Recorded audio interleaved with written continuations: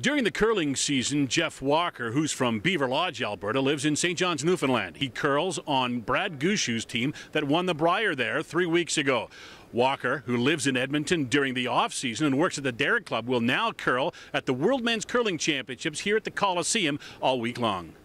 When we knew the Brier was announced for St. John's and then a little later that the Worlds was going to be in Edmonton, it was pretty exciting uh, for, for me personally. Obviously, going to be a hometown Brier for, for our team and, and on myself, and then consider my second hometown now, Edmonton. Uh, I spend my summers here, so when it was announced here as well, I'm going to have a lot of family and friends, and it's the closest major market to, to my hometown as well, so you're going to have a lot of the, the people come out and support me.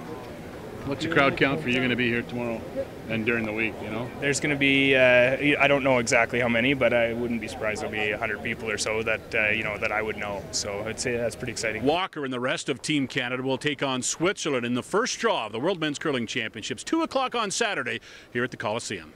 Morley Scott, 6:30 CHED Sports.